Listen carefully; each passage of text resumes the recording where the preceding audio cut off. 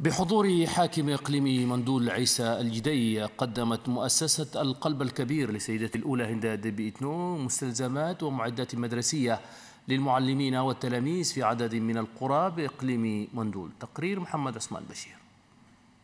تعاون من أجل الرعاية الاجتماعية والتنمية. تحت هذا الشعار تعمل مؤسسة القلب الكبير في تنفيذ مختلف نشاطاتها الاجتماعية والإنسانية. حيث قامت المؤسسة هذه المرة وتزامنا مع بداية العام الدراسي 2017-2018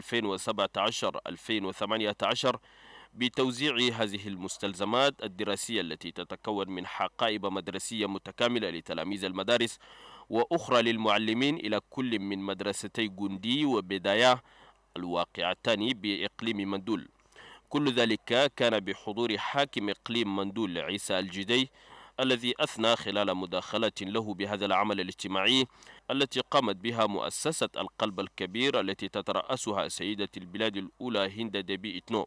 رئيس بعثة مؤسسة القلب الكبير جيمي عربي وخلال كلمته في هذه المناسبة أكد على أن هذا العطاء يدخل ضمن العديد من العطاءات التي تقدمها مؤسسة القلب الكبير في إطار أهدافها الاجتماعية والإنسانية. هذا ولقيت هذه البادرة إشادات وثناء من قبل مختلف التلاميذ والمعلمين المستفيدين بكل من مركز إداري جندي وبداية في ذات السياق قدم النادي روتاري أنجمينا توماي صباح اليوم معدات مدرسية ومقررات دراسية بعدد من المدارس الابتدائية لمدينة أنجمينا كان ذلك بحضور رئيس نادي روتاري وبعض معاونيه. تقرير إبراهيم محمد موسى.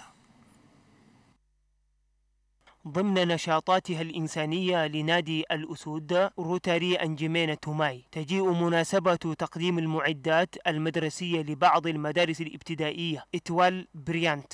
ومدرسة أبناء الحكومية. حيث حظي بتقديم مساعدات من قبل النادي روتاري عبارة عن معدات مدرسية من كتب وكراريس وأقلام وغيرها من الأدوات التعليمية. أما مدراء المدرستين فقد عبر عن شكرهما لنادي روتاري أنجمينا توماي وأن المساعدات التي قدمت لهم تساهم في العملية التعليمية وترفع من معنويات العاملين وتشجع التلاميذ على الدراسة والاستمرارية والجد والاجتهاد في تحصيل العلم. من جانبه رئيس النادي روتاري أنجمينا توماي فقد أشاد بهذه المبادرة الإنسانية وأكد أنها ليست المرة الأولى. فكرنا دولة عندها مشكلة و parents هنا يالات كلها عندهم difficultés économiques donc شاورنا و ورنا مساعدة حنانا كان سخير كلها نكون نساعدهم. وننوه إلى أن مثل هذه المبادرات لها تأثير إيجابي على القائمين في الحقل التعليمي خاصة والجوانب الاجتماعية الأخرى بصفة عامة. قام صباح اليوم رئيس شبكة الصحفيين التشاديين آدم منغنا آدم بزيارة إلى ثانوية فليكسي إبوي والثانوية الفنية التجارية. بهدف حث المؤسسات التعليمية بضرورة تطبيق قرار الحكومة الرامي إلى مجانية التعليم. تقرير ياسر محمد أحمد وقراءة محمد طاهر صالح حسين. التعليم أساس التقدم والتطور في أي مجتمع إنساني كان. لذا فإن هذا العام وجد استعدادا تاما من قبل الحكومة التشادية وشركائها في تحسين وترقية التعليم في البلاد. وفي هذا الشأن فقد قام رئيس شبكة الصحفيين التشاديين بزيارة ميدانية إلى ثانوية فيليكس إبوي والثانوية الفنية التجارية وذلك للتعرف على عملية رسوم التسجيل. وهسه حاليا حكومة ما قصر وأننا صحفيين شفنا أيامات الجايدة حالة صعب. أبات اليال ما عندهم دروس بيجوا بكتبوا يالهم. وشفنا من من مدارس تمشي مدارس واحد بيقول لك بألف ريال. تمشي مدارس مدرسة واحد بيقول لك بألف وخمسمية.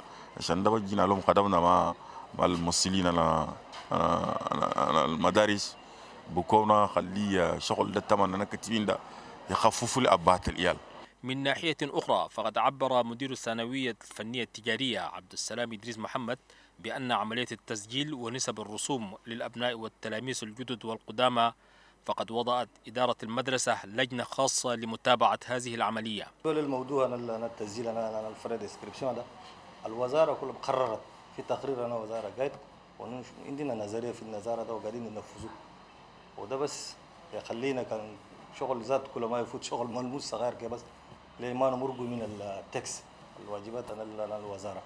أما من جانب الطلاب فقد تباينت آراؤهم حول مقدار رسوم التسجيل. بالنسبة للتسجيل الآن كان صعب.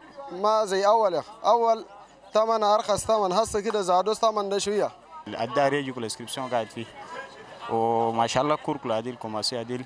السند الحمد لله ماشيين عديل. علما بأن شبكة الصحفيين التشاديين ستستمر في زيارتها في بعض المدارس للوقوف على معرفة سير عملية التسجيل ومدى استمرارية التدريس في المدارس العامة والخاصة.